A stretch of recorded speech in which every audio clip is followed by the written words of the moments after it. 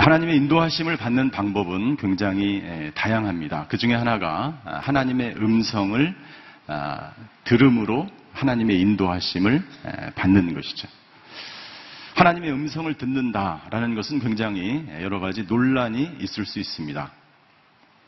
그래서 어, 이 하나님의 음성에 관한 탁월한 통찰력을 가지고 있는 달라스 윌라드라고 하는 아, 교수님은 우리가 하나님의 뜻을 분별하며 하나님의 음성을 들을 때 이 세 가지 요소가 굉장히 중요하다고 이야기합니다. 그 세 가지 요소가 뭐냐면 첫 번째는 환경입니다. 두 번째는 성령님의 감동, 세 번째는 하나님의 말씀.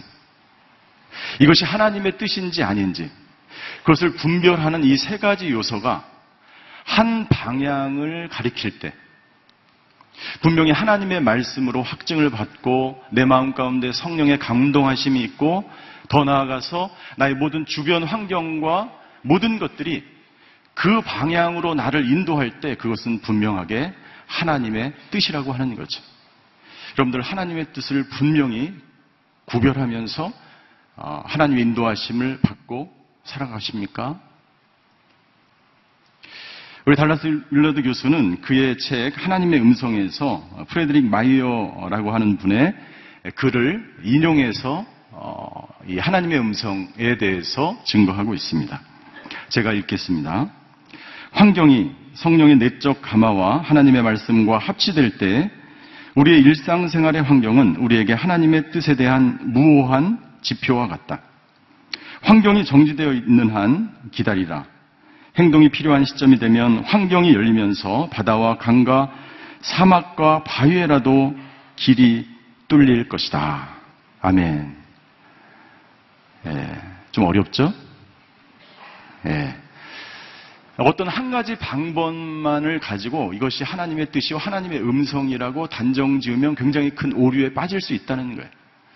이것이 분명히 하나님의 뜻이면 하나님이 말씀으로 확정해 주실 뿐만 아니라 성령의 감동이 내 마음 가운데 있게 되고 그리고 모든 환경들이 열리게 된다는 것입니다. 그리고 그것이 하나님의 뜻이면 하나님의 뜻이라면 그 결과는 그 결과는 분명히 하나님의 하나님이 우리에게 주시는 평강과 확신과 기쁨으로 우리를 인도한다는 것. 이것이 하나님의 뜻인지 아닌지를 구별하는 가장 중요한 것 중에 하나가 뭐냐면 아, 어떤 결과가 분명히 우리 가운데 평강과 기쁨을 준다는 것. 두 번째는 그 결과가 하나님의 말씀과 위배되지 않는다는 것. 이것이 분명히 하나님의 뜻이면 이 성경책에 나와 있는 이 하나님이 말씀하신 것과 절대로 위배되지 않는다는 거예요. 그리고 이 하나님의 인도하심은 하나님의 뜻은 우리가 생각하는 그 일반적인 상식을 뛰어넘을 때도 있지만 우리가 생각하는 그 상식 밖의 일들을 하나님은 하지 않으신다라고 하는 것입니다. 한 형제가 어느 날 저에게 카톡을 아, 보냈습니다. 아, 이 형제가 저에게 카톡을 보냈는데 그 내용은 이런 것입니다. 목사님, 하나님께서 아, 저를 너무나 사랑하셔서 온누리교회 목회자가 되기를 원하십니다. 오랫동안 기도해 봤는데 하나님의 인도하심은 제가 온누리교회 목회자가 되는 것입니다. 우리 목사님도 한번 기도해 보십시오. 하나님의 분명한 인도하심이 있을 것입니다. 그래서 제가 그 문자를 딱 받아보고 아, 뭐라고 이 형제한테 답을 해야 될지 잘 모르겠더라고요.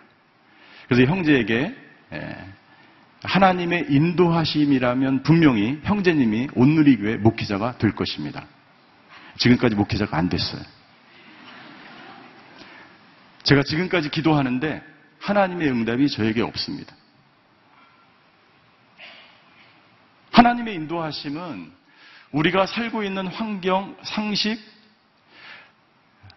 나 혼자만 하나님의 인도하심을 받을 뿐만 아니라 상대방도 환경도 그 문들이 모두 열려야 한다는 것이죠. 아주 오래전에 한 자매가 저에게 이런 이야기를 하셨습니다. 아, 이런 이야기를 제가 들은 적이 있어요. 예언 기도를 하는 유명한 목사님이 집회를 하는데 집회 끝나고 나서 사람들을 기도해 주기 시작했습니다. 그리고 한 자매에게 이렇게 예, 안수 기도를 해줬어요. 그리고 이렇게 예언하였습니다. 자매님은 이 다음에 유명한 훌륭한 찬양 사역자가 될 것입니다. 이 자매가 그 기도를 받고 너무나 기분이 좋았어요. 오랫동안 내가 하나님을 위해서 어떤 사역을 할지 무엇을 할지 기도하고 있었는데 제가 찬양은 좀 하는데 우리 목사님 정말 용하십니다.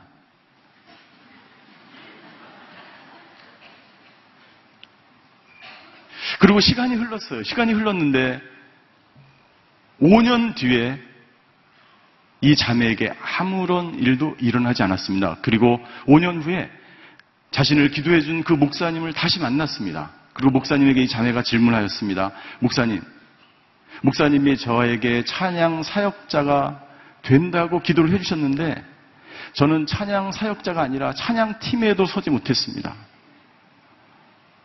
또 이, 이 목사님이 이 자매에게 이렇게 이야기합니다. 당신은 찬양 사역자가 되기 위해서 어떤 준비를 하셨습니까? 저는 아무것도 하지 않고 기도와 말씀에 전무했습니다. 여러분들 하나님의 인도하심을 받는 것은 내가 아무것도 하지 않고 그대로 그 자리에 앉아서 하나님이 인도해 주시기를 바라는 것만을 의미하지 않습니다.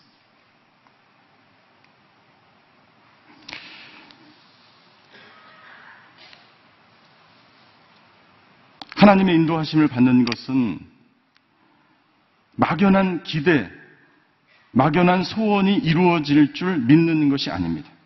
우리는 어떻게 매 순간 하나님의 인도하심을 받으며 살아갈 수 있을까? 결혼을 하는 것, 직장을 선택하는 것, 교회를 정하는 것, 모든 것들이 사실은 하나님의 인도하심을 우리가 받아야 합니다. 오늘 우리는 이 본문을 통해서 하나님의 인도하심을 받기 위해서 우리가 어떻게 해야 되는지 한번 같이 살펴보도록 하겠습니다. 우리는 하나님의 인도하심을 받기 위해서 먼저 하나님과 친밀한 교제가 우선되어야 합니다. 하나님의 인도하심 이전에 먼저 선행되어야 되는 것이 있는데 그것은 뭐냐면 하나님과 친밀한 교제가 우선 되어야 하나님의 인도하심을 정확하게 받을 수가 있다는 것이죠. 오늘 저희가 읽은 본문 이 시편 23편은 너무나 유명한 아, 저희가 너무나 잘 알고 있는 말씀입니다. 우리 1절과 2절에 보면 이렇게 예, 기록되어 있습니다. 우리 1절과 2절을 같이 한번 읽겠습니다. 1절과 2절 시작. 여호와는 나의 목자시니 내게 부족함이 없습니다. 그분이 나를 푸른 초장에 눕히시고 잔잔한 물가로 인도하십니다. 여호와는 나의 목자시고 나에게 부족함이 없는 분이고 그분이 나를 푸른 초장에 누우시는 분입니다. 그런데 그분을 만나기까지 그 목자를 내가 경험하기까지 이 목자와 양은 친밀한 관계 가운데 있다는 거예요. 양은 목자의 음성을 듣고 목, 자기의 목자가 누구인지를 알고 있습니다. 목자는 수많은 양들에서 어떤 양이 나의 양인지를 알고 있습니다. 둘은 이미 떨어질래야 떨어질 수 없는 관계 가운데 있는 것이죠. 우리가 그 목자 인도하심을 따라서 푸른 초장으로 가기 위해서 먼저 해야 될 것이 있는데 그것은 뭐냐면 하나님과 깊은 예, 친밀한 교제와 만남이 우선 돼야 아, 된다는 것이죠. 우리는 얼마나 하나님과 깊은 교제 가운데 살아가고 있습니까? 그분을 잘 알지 못하면서 하나님의 인도하심을 받을 수는 없습니다. 그분이 정말 선한 목자인지, 그분이 정말 나를 푸른 초장으로 인도하실지 우리는 먼저 그 목자가 누구이신지를 알아야 되는 것과 똑같은 것이죠. 이 하나님과의 친밀한 교제는 양과 질로 결정되는 것입니다. 우리가 얼마나 자주 그 하나님을 만나는가, 그리고 그 하나님을 만날 때 우리가 얼마나 깊이 그 하나님을 경험하는가에 따라서 하나님과 더 가까운 교제 가운데 들어가게 되고 그리고 하나님의 인도하심을 더욱 정확하게 받을 수 있게 된다는 것이죠. 여러분들 요즘은 예, 이 SNS가 너무나 많이 발달돼서 많은 사람들이 하나님을 만나는 것보다 페이스북을 더 많이 만나는 것 같아요. 페이스북에 보면 내가 오늘 어디서 무엇을 먹었는지, 누구를 만났는지, 어느 아름다운 곳에 가 있는지, 좋은 레스토랑을 소개하는 수많은 것들이 올라와 있습니다. 여러분들 그 올리는 것 자체를 저는 뭐라고 하는 것이 아니에요. 그러나 내가 페이스북에 사진, 페이스북에 사진을 올리고 내가 가 있는 곳에 있는 그곳에서 행복을 느끼는 것만큼 하나님을 그렇게 자주 만나는가 아니면 하나님을 만나면서 그렇게 행복을 느끼는가 하는 것이죠. 카톡에 보면 이모티콘이라는 게 있습니다. 이모티콘이 뭔지 아시죠? 이모티콘에 보면 자기의 감정을 다양하게 표현합니다. 어떤 사람은 기가 막히게 글씨가 아니라 예, 형상으로, 이모티콘으로 표현을 해요. 그런데 우리는 얼마나 자주 하나님께 나의 감정과 느낌을 표현하고 있는, 얼마나 자주 하나님께 나의 모든 상황들을 아뢰고 그분과 만나고 교제하고 있는가. 여러분들 어떻게 보면 페이스북과 카톡과 수많은 아, 인스타그램과 그 많은 것들은 어떻게 보면 소외된 현대인들이 과학을 이용해서 내가 누군가 관계하고 싶고 누군가 만나고 싶다는 것을 표현하는 것 같아요. 여러분들 그러나 가장 중요한 것은 내가 그 많은 것들을 하는 것보다 더 중요한 것은 내가 그만큼 하나님을 더 가까이 만나고 있느냐가 중요한 것이죠. 여러분들 페이스북이 우리를 구원하지 않습니다. 카톡이나 페이스북이 우리의 모든 외로움과 슬픔과 고독함과 우리의 아픔을 달래줄 수 없습니다. 오직 저와 여러분들은 하나님과 교제할 때, 그분을 만날 때에, 그분과 깊이 교류할 때만이 우리 마음 가운데 진정한 평강을 누리게 될 줄 믿습니다. 왜 우리는 페이스북과 카톡보다 하나님과 더 많은 교류를 해야 하는가? 그것은 하나님과의 교제가 단절되면 우리의 행복이 보장되지 않기 때문에. 시편 기자는 시편 16편 2절에 이렇게 증거하고 있습니다. 우리 시편 16편 2절을 함께 읽겠습니다. 시작. 내 영혼이 여호와께 고백합니다. 주는 내 주시니 주를 떠나서는 어디에도 내 행복이 없어. 시편 기자의 고백. 다윗의 고백입니다. 주를 떠나서는 어디에도 행복할 수가 없습니다. 세상에서 주는 것들이 나에게 행복을 주는 것 같아요. 그러나 그것은 가짜 행복이죠. 사람들을 만나고 파티를 열고 페이스북에 사진을 올리고 그 모든 것들이 나에게 행복을 주는 것 같아요. 그러나 그것은 가짜 행복입니다. 하나님과의 교류가, 하나님과의 교제가 끊어지면 여러분들 우리의 행복은 더 이상 예, 찾아내야 찾아볼 수가 없는 것이죠. 저와 여러분들에게 하나님께서 주신 가장 큰 특권 중에 하나가 뭐냐면 하나님과 교제하는 특권이에요. 하나님은 우리를 교제하는 인간으로 만드셨습니다. 하나님은 하나님 자신과 우리가 교류하기 원하시며 교제하기 원하세요. 그리고 우리로 하여금 다른 또 다른 믿는 사람들과 교제하기를 원하십니다. 그것을 통해서 하나님은 공동체를 우리에게 허락하셨고 그 공동체를 통해서 하나님은 자신을 드러내시고 우리를 푸른 초장으로 인도하시기를 원하시는 하나님인 줄 믿습니다. 하나님과 교제할 때 비로소 인간은 인간다워질 수 있어요. 여러분들 방송과 뉴스에 보면 얼마나 인간답지 못한 일들이 우리 주위에서 일어나고 있습니까? 왜 그렇습니까? 하나님을 떠났기 때문에 하나님과의 교제가 단절됐기 때문에 하나님과의 교제가 단절될 인간은 죄를 지을 수밖에 없고 죄를 지은 인간은 고통 가운데 살아갈 수밖에 없는 것입니다. 인간의 길을 포기하는 거죠. 우리는 하나님과 교제할 때 비로소 인간다워질 수 있고 하나님과의 교제는 우리로 하여금 하나님이 나를 어디로 이끄시는지 인도하시는지를 깨닫게 해 주는 것입니다. 하나님과의 교류, 하나님과의 교제는 바로 수없이 많은 시간 동안 하나님과 교제하며 교류하며 체험적으로 얻어지는 거예요. 체험적으로 얻어지는.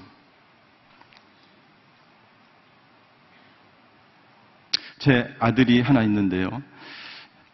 제 아들이 초등학교 때는 저와 같이 농구도 하고 어, 같이 축구도 하고 너무나 잘 지냈어요.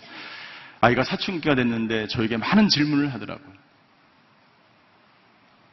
산, 산에 가서 제 아들과 함께 같이 야영도 하고 제가 미국 보스턴에서 살 때에 굉장히 친하게 지냈어요. 대화도 굉장히 많이 했습니다. 근데 우리 아들이 점점 예, 고등학교가 되고 대학생이 되니까 말이 없어지는 거예요. 아빠는 대화를 좀 하고 싶은데 아들은 말이 없어요. 그리고 시간이 지나서 언젠가 모르게 카톡이나 페이스북으로 계속 대화를 하는 거예요. 제가 장문에 편지를 보내면 우리 아들은 네, 엉, 잉, 점점점 응답이 없어요. 그리고 우리 아들이 군대에 들어갔습니다. 군대에 들어가서 요즘은 군대가 좋아졌어요. 군대에 들어갔는데 아들이 자주 전화도 하고 어, 가까운 경기도에 있기 때문에 외박도 자주 나오고 면회도 자주 갑니다. 근데 전화를 계속해서 오던 아이가 전화가 없는 거예요. 부모니까 걱정이 되잖아요. 그래서 부대에 전화를 했습니다. 아들아, 요즘에 저, 왜 에, 무슨 일 있니? 어디 아프니? 맞았니? 아니에요. 아빠 저잘 지내고 있어요. 무소식이 역시 희소식이에요. 그래서 제가 아들한테 그랬어요. 아들아, 아빠가 아들이 보고 싶구나. 언제 면회를 갈까? 그랬더니 아들이 그러는 거예요. 아빠, 여기 있는 사람들 전부 여자친구들이 면회 오지 부모님이 면회 온 애들 없어. 무엇이 중한디? 여러분들 어떻게 보면 하나님은 우리와 계속해서 교류하고 교제하기 원하세요. 왜요? 그래야만 우리가 푸른 초장으로 가서 누울 수 있기 때문에 우리가 그 목자를 따라서 인도하심을 받아서 좋은 꼴을 먹을 수 있기 때문에 우리를 안전한 곳으로 인도하시는 분이 그 하나님이시기 때문에 우리가 그 하나님의 인도하심을 받기 위해서 먼저 해야 될 것이 있는데 그것은 뭐냐면 하나님과 깊은 친밀한 교제를 누려야 하는 것입니다. 두 번째, 하나님의 인도하심을 받기 위해서 우리가 해야 될 것이 있는데 그것은 뭐냐면 목자 대신 그 주님이 나와 함께 하심을 믿어야 합니다. 양은 절대로 여러분들 이 설교를 많이 들었을 줄 믿습니다. 양은 절대로 혼자 살아갈 수 없어요. 목자 없이는 절대로 살 수가 없어요. 양에게 네 가지 특성이 있는데 이 네 가지 조건이 갖추어져야 여기 2절에 보니까 뭐라고 되어 있습니까? 나를 푸른 초장에 누우시는 거예요, 목자가. 근데 양은요, 이 네 가지가 충족되어야 눕는다 그래요. 이 네 가지가 뭐냐면 첫 번째는 양들은 겁이 많아서 두려움이 없을 때만 편하게 눕는다는. 그러니까 뭔가 맹수가 나타나거나 도둑이 나타나면 눕지를 않고 계속 서 있는 거예요. 두 번째 습성이 있는데 그것은 뭐냐면 양들은 집단적인 동물이라서 서로 간에 싸움을 하면 절대로 눕지 않아. 그러니까 목자가 가서 그 양 싸우는 양들을 다 말려야 그때야 양들은 예, 쉬기 시작한다는 거죠. 세 번째 특징은 뭐냐면 파리나 곤충, 모기들이 있으면 이 모기들과 곤충 때문에 괴로우면 눕지를 못하는 거예요. 그러니까 목자는 밤새도록 이 양들을 지키는 거예요. 지키. 네 번째 특성은 뭐냐면 이 양들은 배부르지 않으면 또 눕지 않는 그러니까 가서 안 놓으면 가서 또 먹여주는 거죠. 이것이 목자가 한 무슨 얘기냐면 양들을 누, 누일 수 있는 단 한 사람이 있는데 그 사람은 누구냐면 목자라는 거예요. 목자가 함께하지 않으면 한순간도 이 양들은 살아갈 수 없는 존재. 바로 저와 여러분들과 같은 존재. 주님을 떠나서는 한순간도 우리 마음 가운데 평강이 없는 거예요. 하나님을 떠나서는 한순간도 살아갈 수 없는 존재가 바로 저와 여러분들의 존재라는 거죠. 그 주님이 양들을 그렇게 보살피고 양들을 쉴 만한 물가로 먹이시며 누이시는 그분이 우리와 함께 하신다는 것을 우리가 신뢰하고 확신해야 합니다. 우리 4절과 6절을 같이 한번 읽겠습니다. 4절입니다. 시작. 내가 죽음의 골 지날 때라도 악한 것을 두려워하지 않는 이유는 주께서 나와 함께 계시기 때문입니다. 주의 지팡이와 막대기가 나를 지키시고 보호하십니다. 6절도 함께 읽겠습니다. 내 평생의 선하심과 한결같은 사랑이 진실로 나와 함께 하실 것인 내가 여호와의 집에 영원히 살 것입니다. 예. 그분이 함께하는 여러분들 왜 두려움이 없습니까? 여러분들 이 세상에 살다 보면 두려운 일들이 너무나 많잖아요. 기사를 볼 때마다 다 두려운 일들이에요. 앞으로 우리 자녀들이 이 세상을 어떻게 살아갈지 두렵습니다. 매 순간 우리는 이 세상 속에서 두려움 가운데 살아가는데 사망의 골짜기를 지날지라도 두려워하지 않는 것은 우리 주님이 목자 되신 주님이 당신과 함께 있기 때문임을 믿으시기를 주임으로 축원합니다. 이 믿음이 없으면 두려운 거예요. 걱정이 되는 거예요. 불안한 거예요. 양의 우리를 떠난 양은 항상 불안하고 두렵고 초조하게 살아가는 거예요. 당신은 지금 누군가, 누구와 함께 하고 있습니까? 그 주님, 목자 되신 주님이 당신과 함께 하는 것을 여러분들 우리는 날마다 확인해야 되고, 믿어야 되고, 신뢰해야 되고, 그때 비로소 우리는 그 주님을 따라서 쉴만한 곳으로 가서 평강을 누릴 수 있는 거예요. 미국의 한 병원에서 쌍둥이 자매가 태어났어요. 그런데 예정일보다 예정일보다 12주나 빨리 태어났습니다. 너무나 빨리 태어났기 때문에 이 쌍둥이 두 아기가 살아갈 수가 없어요. 특별히 이 둘째가 둘째가 너무나 힘든 거예요. 심장에 이상이 생겨서 죽음을 다투는 그러한 상황 가운데 있어요. 그래서 한 간호사가 제안을 합니다. 이 인큐베이터에 이 아이들이 각자 있는데 이 언니를 이 동생, 이 심장이 안 좋은 이 동생의 인큐베이터에다 넣어줍시다. 예, 이 그림이 저 빨간 동그랗게 되어 있는 저이 어, 동생을 껴안는 거예요. 이 잭슨이라는 여자인데 이 여자아이가 이 동생을 껴안기 시작했어요. 한 인큐베이터 안에서 함께 자라기 시작했어요. 그러자 이 동생의 심장이 정상적으로 돌아가기 시작합니다.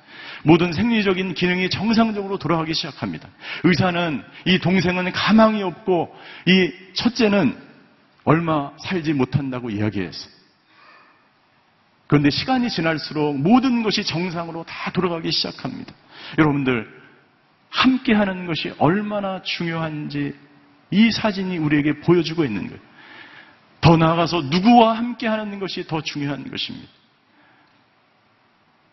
그 하나님은 그 목자 되신 하나님은 우리를 날마다 날마다 품어주시는 거예요. 안아주시는 거예요. 가족 치료사인 버지니아 사티어는 이렇게 이야기합니다. 우리 어린아이들은요, 하루에 32번 안아줘야 겨우 살아갈 힘을 얻는다는 거예요. 어른들은 하루에 몇 번 안아줘야 살아갈 힘이 생길까요? 어른들은? 예. 네. 하루에 여덟 번 안아줘야 된다. 여덟 번. 여러분들 집에 가셔서 여러분들의 자녀들을, 여러분들의 가족들을 하루에 여덟 번 이상 안아주시기를 바랍니다. 그래야 겨우 살아갈 힘이 생긴다는 거예요.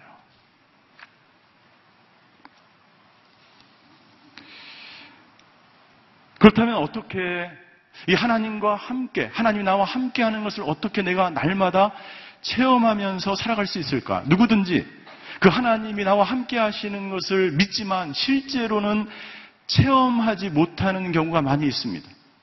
머리로는 알고 있어요. 하나님 나와 함께 하시는 것을 이론적으로는 알고 있어요. 그러나 실제로 체험하지는 못하는 거예요. 어떻게 우리는 그 하나님과 날마다 체험하면서 하나님이 나와 함께 하시는 것을 체험하면서 살아갈 수 있을까요? 네, 날마다 하나님의 말씀을 묵상하는 것도 좋은 방법입니다. 날마다 말씀을 묵상하십시오. 아침에 일어나서 큐티를 하십시오. 큐티의 말씀을 통해서 하나님이 나와 함께 하시는 그 음성을 날마다 들어야 합니다. 또 한 가지 방법이 있는데 그것은 뭐냐면 일기를 쓰는 것입니다. 일기를 쓰는 거예요. 이번에 임마누엘 일기라는 책이 새로 나왔는데요. 서점에 가면 있습니다. 임마누엘 일기. 이 책의 부제가 뭐냐면 이 부제목이 하나님의 임재를 경험하는 일상의 경험을 어떻게 체험할 것이야. 이 책의 추천사를 이기원 목사가 썼기 때문에 제가 이렇게 말을 하는 것은 절대 아니죠. 어떻게 여러분들 날마다 일상 속에서 내가 하나님을 경험하면서 하나님 나와 함께 하심을 경험하면서 살아갈 수 있을까? 네. 하나님과 일기를 써 내려가는 거예요. 거기에 보면 네 명의 저자가 이 책을 썼는데요. 하나님과의 교류는 간단하게 들린다. 하지만 대다수의 우리들은 어떻게 하나님과 교제할지를 알지 못한다. 우리들 대부분은 하나님을 볼 수, 들을 수도 없습니다. 또한 하나님을 보고 그분의 음성을 들었다고 말하는 사람들을 왠지 불편하게 느껴지기도 합니다. 예수님이 임마누엘의 하나님으로 이 세상에 오셨을 때 예수님과 가까이 있었던 사람들조차 예수님을 알아보지 못했어요. 예수님이 죽으시고 부활하신 이후에도 제자들은 알지 못했습니다. 엠마오로 가는 제자들이 예수님을 보고 예수님인지 알지 못했어요. 그 사람들을 예수님이 이렇게 이야기합니다. 마음에 더디 믿는 자들이라고 이야기합니다.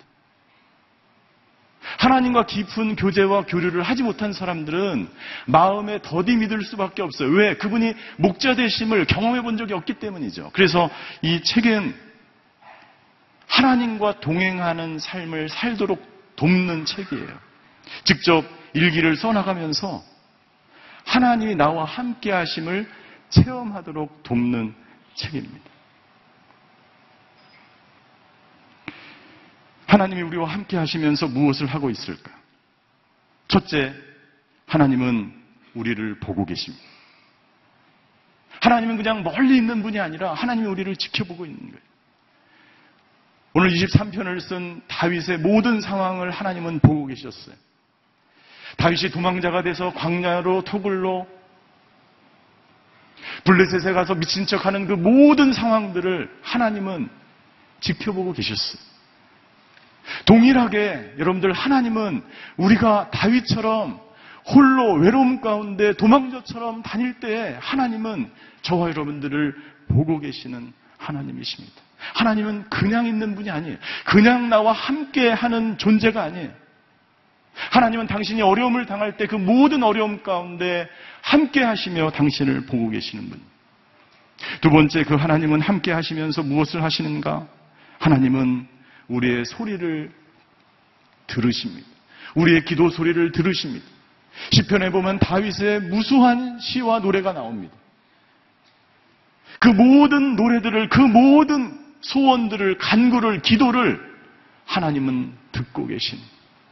저와 여러분들이 기도할 때 함께 하시는 그 하나님은 저와 여러분들의 작은 신음소리도 들으시는 하나님인 줄 믿습니다. 그 하나님은 우리와 함께 하시면서 무엇을 하는가? 하나님은 우리를 이해하십니다. 하나님은 나의 모든 상황들을 이해하십니다. 저와 여러분들의 모든 상황들을 하나님은 이해하십니다. 하나님은 아들이 반역을 압살롬이 반역을 할 때에도 그 마음을 하나님은 이해하셨어요. 사울에게 사울의 옷자락을 벨 때에 다윗의 의로움을 보셨고 다윗을 이해하셨어요. 그리고 하나님은 다윗이 일천 번제를 드릴 때도 다윗을 이해하셨어요. 네 번째, 하나님은 무엇을 하시는가? 하나님은 나와 함께 하시면서 나와 함께 하는 것 그 자체를 기뻐하시는 하나님이세요. 여러분들 우리가 죄를 짓거나 우리의 고통이 너무나 클 때 마치 하나님이 옆에 계시지 않는 것 같은 생각을 하게 됩니다. 혹은 우리가 죄를 지으면 하나님은 나 같은 죄인은 싫어하시겠지라고 생각합니다. 아니, 그렇지 않습니다. 하나님은 우리가 어떤 상황 가운데 있든지 상관없이 하나님은 우리와 함께 하시는 하나님인 줄 믿습니다. 하나님 우리가 병들었을 때도 우리와 함께 하시고 우리가 건강할 때에도 우리와 함께 하십니다. 하나님은 우리가 부유할 때도 함께 하시고 하나님 우리가 연약할 때도 함께 하시는 하나님인 줄 믿습니다. 성경이 그것을 증거하고 있어요. 하나님은 임신하지 못한 한나와도 함께 하셨지만 임신한 하갈과도 쫓아가셔서 함께 하신 하나님이세요. 하나님은 엘리야가 우울증에 있을 때도 함께 하셨지만 하나님은 엘리야가 능력을 가지고 850명의 우상 숭배자들과 싸울 때도 하나님은 엘리야와 함께 하신 하나님이십니다. 하나님은 나의 형편과 나의 처지와 나의 모습과 상관없이 하나님은 우리와 함께 하시면서 우리의 삶을 인도해 가시는 하나님인 줄 믿습니다. 하나님의 인도하심을 받으며 살면 어떤 결과가 이루어지는가? 세 번째, 3절입니다. 3절에 보니까 이렇게 기록되어 있습니다. 내 영혼을 회복시키시고 당신의 이름을 위해서 의로운 길로 인도하십니다. 우리가 그 하나님의 우리가 하나님과 깊은 교제 가운데 있으며 그 하나님이 나와 함께 하심을 믿으며 신뢰하며 그 하나님이 누구신지를 깨닫고 하나님이 말씀하시는 대로 우리가 인도하심을 받을 때 우리는 결국에 우리의 모든 영혼이 회복되는 놀라운 축복을 받게 됩니다. 그리고 하나님은 우리를 의로운 길로 인도하시는 것을 알 수가 있습니다. 때로 하나님은 우리가 이해할 수 없는 방법으로도 하나님은 인도하세요. 때로는 광야로 인도하시기도 하시고, 때로는 동굴로 인도하시고, 때로는 우리가 상상할 수 없는 방법으로 하나님은 우리를 인도하시는 하나님이십니다. 여러분들, 하나님, 양을 인도하셨던 그 목자 되신 그 하나님께서 우리를 인도하시다면, 인도하신다면 우리는 어떤 사막도, 어떤 광야도, 어떤 토굴과 어떤 질병도 넉넉히 이겨 나가게 될 줄 믿습니다. 한 아버지가 있었습니다. 이 아버지에게 한 아들이 있었는데 이 아버지의 이름은 닉 호이트라는 아버지. 여러분들 아마 이 이야기를 다 아실 줄 믿습니다. 이 아버지에게 한 아들이 있었는데 이 아들은 태어날 때부터 전신 불구 마비로 태어났어요. 뇌 산소 공급을 받지 못해서 전신 마비가 돼서 아무것도 할 수 없는 상태가 되었습니다. 어느 날 이 아이가 컴퓨터를 배우는데 이 컴퓨터를 통해서 아버지에게 자기의 감정을 표현하는 그 첫 번째 표현이 뭐냐면 아버지 달리고 싶어요. 아버지 달리고 싶어요. 그래서 이 아버지는 전신 마비인 이 아들을 데리고 휠체어 유모차 같은 것에 싣고 달리기 시작합니다. 첫 번째 달리고 나서 이 아이가 다시 아버지에게 표현합니다. 아버지, 나는 오늘 태어나서 난생 처음 내가 불구자가 아니라는 생각이 들었어. 아버지는 이 아이의 말을 듣고 그때부터 이 아이와 달리기 시작합니다. 자전거를 타고 자전거에 누워서 함께 이 아이와 달리고 나중에는 수영을 하면서 이 아이를 보트에 누우고 달립니다. 왜요? 이 아이가 가장 행복한 순간이 달리는 것이기 때문이죠.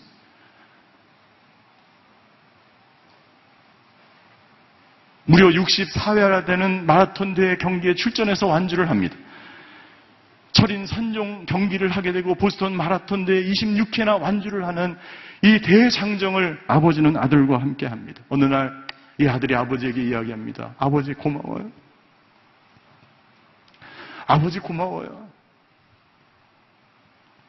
이 아버지가 아들에게 그 이야기를 듣고 이렇게 이야기합니다. 아들아, 내가 아니었다면 나는 처음부터 하지도 않았단다. 많은 기자들이 와서 이 아버지에게 인터뷰를 합니다. 아니, 일반적인 사람도 하기 힘든 이 일을 당신은 어떻게 이렇게 완주를 하며 마라톤과 철인 선종 경기를 할 수 있습니까? 어디서 그 힘이 나옵니까? 그때 이 아버지가 기자들에게 이렇게 합니다. 내 힘은 휠체어에 누워서 달리는 우리 아들이 미소를 지으면, 우리 아들이 미소를 짓는 그 모습을 보면 나는 힘이 납니다. 사랑하는 성도 여러분들, 그 하나님 아버지가 우리와 함께 하시는 살아계신 아버지인 줄 믿습니다.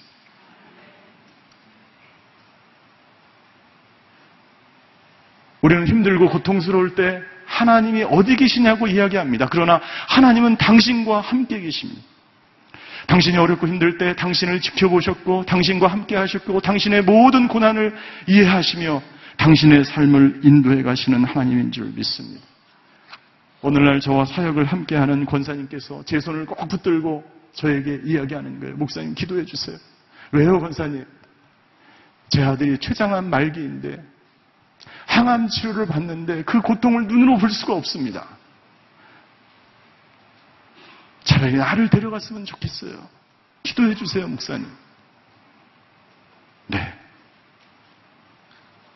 여러분들 때로는 우리가 이해할 수 없는 방법으로 하나님은 우리의 삶을 인도해 가시는 그러나 결국 그 마지막은 하나님이 우리를 의의 길로 생명의 길로 인도하시는 목자 되신 하나님인 줄 믿으시기를 주임으로 축원합니다. 경배 찬양에 보면 이런 찬양이 있습니다. 주가 보이신 생명의 길이라는 찬양이 있어요. 우리 이 찬양을 함께 하고 오늘 설교를 마치려고 합니다. 우리 찬양팀 함께 나오셔서 우리 같이 찬양했으면 좋겠어요. 주가 보이신 생명의 길, 나 주님과 함께. 주가 보이신 생명의 길, 나 주님과 함께. 사랑 마음을 들이며 주님 앞에 나가니 의로움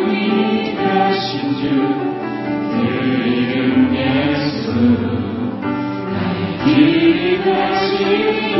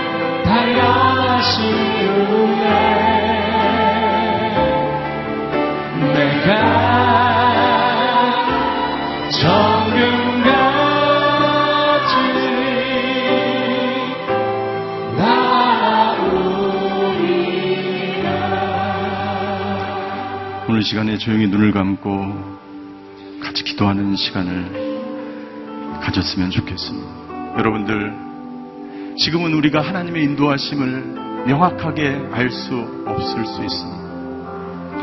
왜 이 길을 걷게 하시는지, 왜 광야를 걷게 하시는지, 왜 동물에 갇히게 하시는지, 왜 사울의 군사들에 의해서 목숨에 위태롭게 하는지, 왜 질병에 걸리게 하셨는지 우리는 알 수가 없어요. 그러나 분명한 것은 그 하나님이 나와 함께 하신다는 사실이고, 분명한 것은 하나님께서 나를 의의 길로, 생명의 길로 인도하신다는 것입니다. 하나님, 나의 걸어가는 길이 어떠한 길일지라도 포기하지 않게 하여 주시옵소서. 나를 위해서 의로운 길, 생명의 길을 예비하신 그 하나님만을 믿으며 신뢰하며 살아가는 저희들 되게 하여 주시옵소서. 하나님은 우리를 고아처럼 버려두시는 분이 아니고 하나님은 우리를 보고 계시고 우리를 이해하시고 우리와 함께 하시고 우리의 모든 삶의 여정에서 우리와 동행하시는 분이십니다. 오 주님 그분만 의지하며 다시 일어서는 저희들 되게 하여 주시옵소서. 나와 함께 하시는 그 하나님 붙잡고 아버지 생명의 길로 나아가는 하나님의 인도하심을 받는 저희들 되게 해달라고 다 같이 통성으로 기도하며 주님 앞으로 나아가시겠습니다. 사랑의 하나님, 우리를 생명의 길로 인도하시는 그 하나님을 찬양합니다. 오 주여, 고난의 길을 십자가의 길을 걸어가고 있는 분이 계십니다. 광야의 길을 걸어가며 상황의 길을 걸어가는 분이 계십니까? 하나님 어떤 상황 가운데 있든지 다윗처럼 나와 함께 하시는 그 하나님만을 신뢰하는 저희들 되게 하여 주시옵소서. 하나님 다윗처럼 나의 모든 상황 가운데 나와 함께 하셨던 그 하나님을 의지하며 주님을 찬양하며 주님을 노래하며 주님을 의지하며 주님께 영광 돌리며 마침내 다윗을 왕으로 삼으신 그 하나님 다윗의 모든 순간 가운데 나타나셔서 개입하시며 다윗의 모든 삶을 축복해 주셨던 그 하나님을 신뢰하며 목자 되신 그 하나님만을 의지하는 저희 모두가 되게 하여 주시옵소서. 하나님,